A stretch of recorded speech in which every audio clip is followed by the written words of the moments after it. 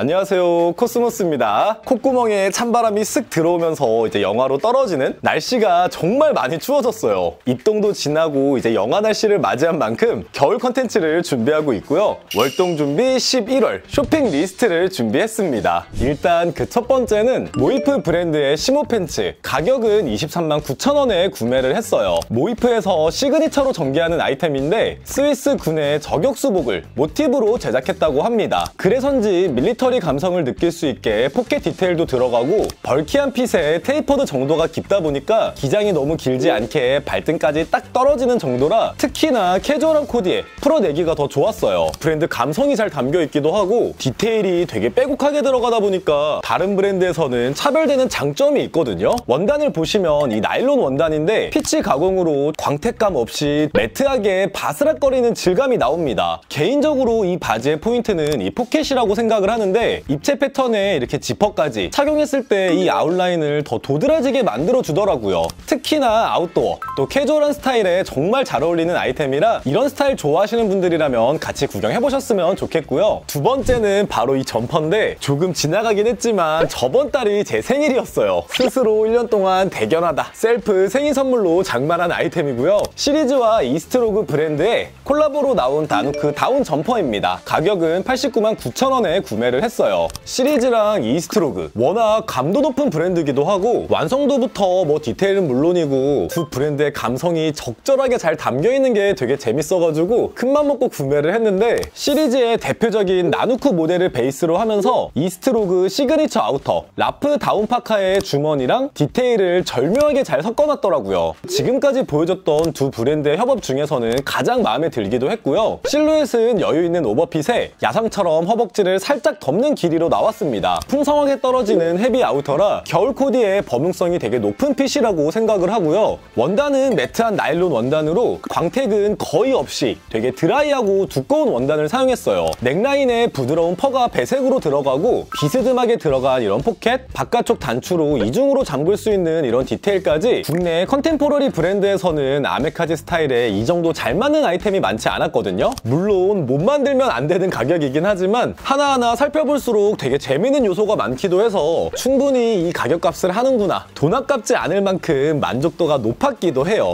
평소 꼭 접해보고 싶었던 두 브랜드의 협업이기도 하고 비싸서 고민을 많이 하긴 했지만 겨울 코디에도 좀 자주 애용하고 보여드리지 않을까 싶고요. 세 번째는 아마 많이들 궁금해하셨을 것 같은데 바로 엔지니어드 가먼츠랑 유니클로가 협업한 모델을 구매했고요. 이번에 디자인이 세 가지가 나와서 이렇게 꼼꼼하게 살펴보면서 뭐가 좋을까 고민을 되게 많이 했거든요 있거든요. 그 중에서 가장 마음에 들었던 아이템이 바로 이겁니다. 제품명은 퍼프테크 쇼트 블루종. 공홈에서 발매하자마자 12만 9천 원에 빠르게 구매를 했습니다. 개인적으로 이번 콜라보가 진짜 역대급이라고 생각을 하는 게 최근에 전개한 뭐 유니클로의 유라인이나 JW 앤더슨 이런 것들은 디자이너가 유니클로에 와서 디렉터의 감성으로 디자인을 풀어내는 게 되게 강하거든요. 이번에 엔가 협업 제품 같은 경우는 특정 아이템을 원형으로 가져가면서 조금 더 유니클로식 으로 쪽으로 풀어낸 느낌이 강하다 보니까 협업의 이미지가 훨씬 진하게 느껴집니다. 제가 구매한 건 엔가 브랜드의 에비에이터를 베이스로 항공 점퍼, 블루종의 shape으로 나온 디자인이에요. 자연스럽게 떨어지는 이 drop shoulder 라인부터 bulky하게 떨어지는 실루엣이라 데일리로 편하게 입을 수 있는 캐주얼한 디자인으로 나왔고요. 이너의 layered를 통해서 코디를 조금 더 다양하게 풀어내기 좋은 기장입니다. 앞쪽 버튼이나 포켓, 시그니처 디테일은 충분히 보이지만 그렇다고 너무나 콜라보다 이렇게 또 부담스럽지 않은 정도라 콜라보의 취지를 가장 잘 담겨있지 않나 싶었어요. onion quilting 패턴의 안감으로 흡습, 발열, 기능성 소재라고 하거든요. 그래서인지 생각보다는 더 따뜻한 느낌이라 아주 추운 날씨가 아니면 겨울까지도 착용이 가능하고요. 온라인에 실측 사이즈에 감이 안 와가지고 저도 두 가지 사이즈를 모두 착용해봤는데 라지는 fit하게 몸에 딱 맞는 느낌으로 잘 맞았고 엑스라지는 오버핏, 조금 더 캐주얼한 핏이 나옵니다. 라지도 나쁘진 않았지만 디자인의 의도 자체가 넉넉하게 나온 아이템이다 보니까 엑스라지가 저한테 더 잘 맞지 않나 싶었어요. 유니클로 가격으로 엔가 맛을 느낄 수 있기도 하고 하고 시즌 콜라보로 나온 만큼 또 희소성이 있는 모델이라 개인적으로 소장하고 싶었던 아이템으로 이렇게 구매를 했고요. 그 다음 번외로 이번에 나온 이 후드 코트도 같이 착용을 해봤거든요. 이거는 하이랜드 후드 파카를 모티브로 했다고 하는데 조금 더 유니클로의 맛이 강한 아이템이라 개인적으로 저는 좀 아쉬웠어요. 하이랜드 자체가 막 특색 있는 디테일이 아니기도 하고 이거다 싶은 시그니처 요소가 적다 보니까 그냥 M65의 유니클로 맛 정도? 핏도 평소에 착용하는 사이즈에는 조금 어색한 느낌이라 하이랜드 맛을 기대하기에는 조금 부족해서 이거는 저는 패스를 했습니다. 다음은 찐 월동 준비로 구매한 이 악세사리 아이템을 두 가지 좀 짧게 보여드릴 건데 나나미카 브랜드의 고어텍스 인피니움 비니 국내 편집샵에서 약 16만 원대로 구매를 했어요. 제가 처음으로 구매한 나나미카 브랜드의 이제 입문템인데 로고도 없고 그냥 검정색 무지 비니다 보니까 이게 16만 원? 비싼 감이 없지 않아서 고민을 많이 하긴 했거든요. 그러다가 이 제품을 구매한 이유가 일단 이 소재 알기로는 검증된 브랜드가 아니면 다룰 수 없는 소재라 비니의 고어텍스는 진짜 귀하잖아요. 워낙 기능적으로도 완성도 높은 원단이기도 하고 나나미카의 감성이랑 이 고어텍스 시너지가 정말 좋은 조합이라 고민하다가 구매를 했습니다.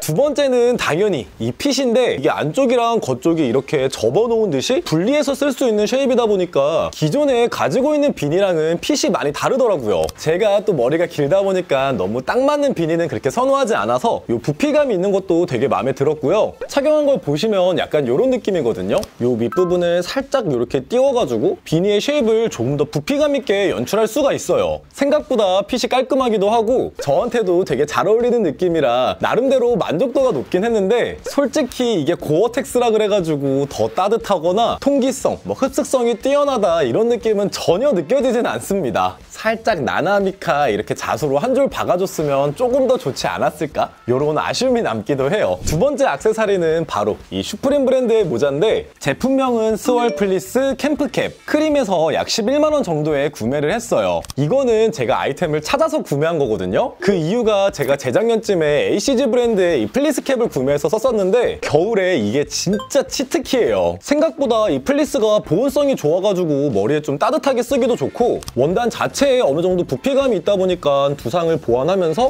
모자가 본연의 가지고 있던 이 실루엣을 더 살려주는 느낌이라 겨울에 특히나 손이 자주 가더라고요. 아쉽게도 이게 보라색이라 코디 활용도가 그렇게 좋진 않아가지고 플리스캡 검정색 괜찮은 거 없을까 좀 찾아보다가 이 슈프림 브랜드의 아이템으로 구매를 했습니다. 5 패널의 camp cap 디자인으로 전체적인 핏은 기존의 슈프림 캡이랑 되게 비슷한데 원단이 달라서 되게 입체적이고 좀 부피감이 느껴지거든요. 훨씬 캐주얼하게 쓰기가 좋습니다.